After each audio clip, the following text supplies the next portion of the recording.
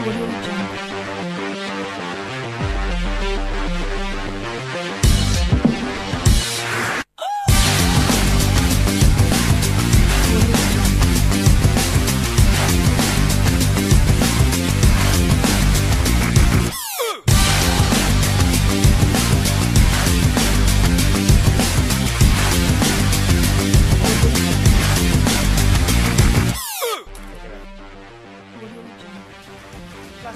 Hola, ¿qué tal? Bueno, decíamos que este era el hombre de la semana. Se trata del Simater Coeter segundo. y visitaba los estudios de Telesiete porque ha sido el actual campeón en la final del individual de Raspay. Sí, fue el, domingo en, Piles y la verdad es que eh, hay que poner en valor la victoria de Coeter. Se trata del primer y único punter que ha conseguido imponerse en el individual. Hasta ahora estamos eh, bueno, pues, eh, acostumbrados a ver a grandes restos, sobre todo a Waldo, pero otros eh, como Gorcha, como Carlos, en fin, grandes jugadores de esa posición, pero ningún puntero había conseguido alzarse con el título individual. Esto le da, si cabe, mayor importancia a esa victoria, merecida además después de una final fantástica del pilotari de, de Simat ante un rival que poco pudo hacer ante su fortaleza. Quizá el único pero que le queda a Coeter es no haberse enfrentado a Waldo en la final, que estuvo presente y que también estuvo animando a los dos participantes, el gran favorito que se retiró de la lucha por las lesiones. Pero esto no le resta un ápice de mérito a Coeter, porque, insisto, ha realizado una campaña no solo en el individual, sino en el resto de, campeonatos en los que ha participado ciertamente ejemplar. Bueno, pues precisamente hoy hemos hablado con Coeter y además nos eh, decía que está muy satisfecho físicamente después del trabajo que ha tenido en las últimas semanas. Bueno, eh, gracias a Luis Misabater, que es nuestro ex atleta profesional, el canadiense Luismi, que ya sabes que regenta un gimnasio y que se lo recomendaron a Coeter y dice que bueno, se encontraba físicamente muy fuerte y que bueno, pues eh, también le debe en parte este titulito a, o gran título a, a Luismi, a Luis el rey del raspall, ¿eh? Bueno, titulito. Gran, título. Campeón del, individual y, el reto que podríamos decir de Luismi que se ha trasladado también a la pilota valenciana. Bueno, pues vamos a escuchar lo que nos decía Coeter segundo a Deportes con R. Ai, pues, principis va ser una miqueta més fàcil del que m'esperava, Moncho va, es va recuperar un poquet i, i a l'últim el vaig poder guanyar la partida ja, la, la semifinal ja va ser una miqueta complicat contra Punxa, vaig poder guanyar i a la final ja vaig perdre una miqueta més, un poc més, en, no tenia la confiança que, que volia, però bé, però vaig començar el primer joc molt bé traguent, passa el resto i el nota ja una miqueta més tranquil i amb més, i amb més confiança i el vaig poder fer també. Li faig 20 per 5 i passa el resto. Ahir el nota, no sé si cansat, feia de pilotades no l'acerta massa bé i perd que si jo. I quan passa a traure, pues ja, ja puc acabar, ja no té molt bé. Bueno, pues este es Coeter segundo, además le, hablaban, le preguntábamos ¿no? acerca de los próximos objetivos. Tiene en esta recta final de 2013 Santi, bueno, pues esa final del trofeo de la Mancomunidad, también el trofeo de la, de la Costera, y decía que lo personal está siendo un gran año.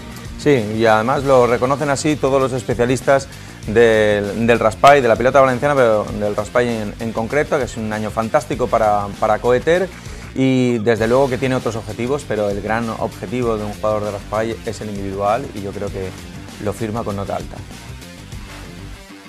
Pues ara comença la Mancomunitat de la Costera en el triquet de la Llosa, que la final es juga en Genovès, i ara el mes que ve pues, comença la Mancomunitat de la Safor, que, que es juga per així per la Safor, en, en la final amb Berrobart, i, i, i intentar pues, pues, continuar guanyant els campionats.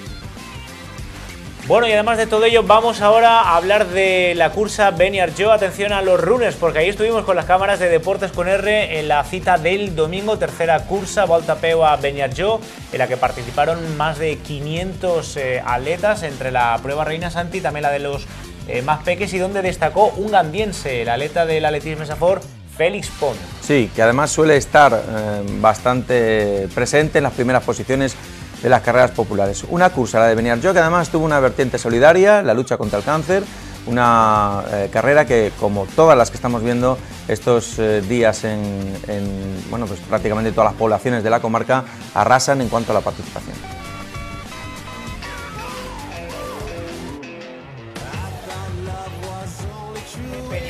espectacular también la imagen de nuevo que nos ofrecía este fin de semana y además con eh, la llegada de muchos atletas a nivel comarcal. Y atención porque esta vez no se me escapa, me tiraron las orejas la semana anterior, Miguel Velo entró en la tercera posición, nos lo dejamos en la, en anterior cursa, pero ahí estamos. Félix Ponte en la primera posición, Óscar Lizcano de Denia en la segunda, Miguel Velo en la tercera y luego pues bueno, podemos encontrar eh, corredores locales prácticamente entre los primeros 36 clasificados en, en, todas las, eh, posiciones. Hay corredores como por ejemplo Iván Fornés que llegó en el puesto décimo sexto. Ahí vemos las chicas del Real de Gandía. También del Garbí por ahí de fondo. efectivamente, del Safor, Independientes, pero Independientes también lo tenemos que tener en cuenta. Y el público querido que también se echó a la calle para ver correr a los runners. Bueno, pues era una prueba que constaba de 8 kilómetros y hoy hemos hablado con el protagonista, con Félix Pon del Atletismo Safor, ganador de la prueba con una marca de 23 minutos y 8 segundos. Eh, la verdad es que sí, muy contento por, por, ganar y sobre todo que los ritmos fueron buenos. Pues la verdad es que salí desde el principio, salí prácticamente solo y fui todo el rato pues a, mi ritmo, lo que yo pensaba hacer y, y no estuve muy solo toda la carrera, la verdad. No, la verdad es que no, no, yo esperaba tener más rivales, pero bueno, son, son situaciones y también es que está la maratón de Valencia la semana que viene y está el 10K de Valencia, entonces está en un día que, bueno, la gente viene también machacada de la media de Gandía la semana pasada, entonces, bueno, yo creo que eso también afecta un poco a la participación. Bueno, pues para que la gente se haga una idea, Santi, digamos que es, entre comillas, ¿eh? nuestro marroquí gandiense Felipón, porque es el que más destaca en las cursas a nivel de la comunidad valenciana y fue el ganador este pasado verano de la 10K en la playa. Exactamente. Atentos también a los exfutbolistas. Ya hemos visto en algunas ocasiones a algún exjugador de fútbol. El caso más llamativo es el de Albelda en la Micha, pero Ausia Solanes, uno de los integrantes del equipo que consiguió el ascenso a la segunda división B, eh, llegó en la decimoquinta posición. Bueno, pues con Félix Pon también hablábamos de los próximos objetivos. Nos la media que va a estar en la 10K del Raval, eso será el 6 de diciembre y luego ya tiene otras pruebas ya de cara al 2014 objetivo grande es Santa Pola, la media de Santa Pola y de camino quiero hacer pues, el Raval de aquí, de Gandía y luego la San Silvestre de Madrid, que quiero ir a intentar ganar la San Silvestre Popular de Vallecas. Sí, la verdad es que quiero preparar un maratón bien, el de Rotterdam seguramente y estamos ya entrando para ello, que aunque queda mucho, pero el maratón son muchos meses y estamos ya en ello. Es en abril,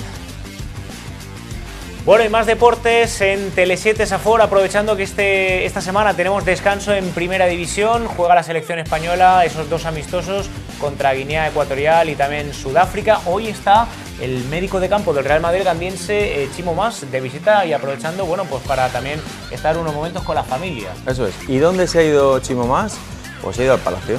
Ha ido al Palacio a ver al padre Puig. Eh, ya sabéis y ya conocéis que le regaló una camiseta firmada por los jugadores del Real Madrid. Yo ya he querido estar con el padre Puig pues, para comentar un poquito la jugada. El padre Puig le decía, ¿qué tal está Cristiano? a ver si podemos coger un primer plano de la camiseta que recibía el padre Puig con eh, ese homenaje de hace dos semanas, Santi, con, con el médico Exacto, que es merengón, eh, el padre, ahí lo tenemos. Bueno, pues eh, esta mañana hemos estado con ellos y esto nos decía Chimo Más y también el padre Puig, que estaba muy contento.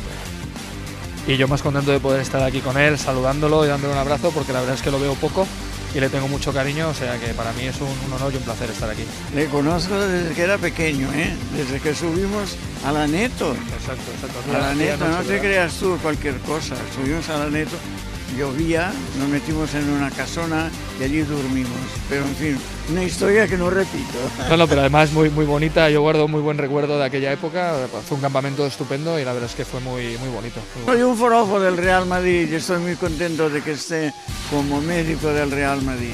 Y ahora me ha dado la gran noticia de que podré ver al Real Madrid en vivo dentro de poco, cuando venga por acá. Claro, yo nada, yo quiero darle, quiero darle alguna alegría y quiero decirle que bueno, vamos a hacer todo lo posible para que tenga este año una alegría del Real Madrid, que podamos ganar algún título para que él esté, esté contento, como toda la gente que es del Real Madrid. Bueno, pues Chimo Más, que además ya a nivel profesional lo empezábamos a conocer en la Américas Cup, luego como médico de Castellón, Villarreal, eh, perdón, de Levante, Valencia, ahora en el Real Madrid. Está en un gran momento, nos decía Chimo Más.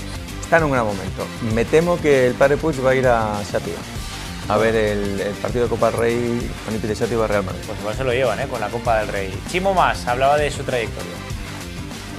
Imagínate, con 36 años yo no puedo pedir, no puedo pedir más. Estuve en el Valencia y ahora en Real Madrid, uno de los mejores equipos de, de España, de Europa, del mundo. Pues no, o sea, yo sigo, sigo soñando todos los días. Y aprovechando la visita esta semana de la familia en Gandía. ¿no? Sí, sí, por supuesto. Siempre que tengo tiempo bajo a Gandía para estar con, con mi hijo. Me encanta que juegue la selección española porque siempre tenemos unos, unos días para poder descansar. Y la verdad es que bueno, vengo aquí a Gandía a ver a mi gente, a mi familia y a estar aquí descansando en mi ciudad. Bueno, nosotros nos marchamos recordando que mañana tenemos a otros héroes desde la alterofilia de Gandía. Eso es, estaremos con Alex Olovalenko y con esa victoria y esos buenos resultados en eh, la Copa del Rey de Alterofilia y también con el equipo de la semana. Así es, una de las secciones estelares también de Deportes con R y además recordamos que nos podéis seguir en las redes sociales, en Twitter, Deportes T7 Safor, donde también podéis dejar cualquier sugerencia o bueno, pues eh, aportar cualquier duda que tengan nuestros seguidores y que la podamos también plantear en el programa. Exactamente. Mañana volvemos. Adiós. Adiós.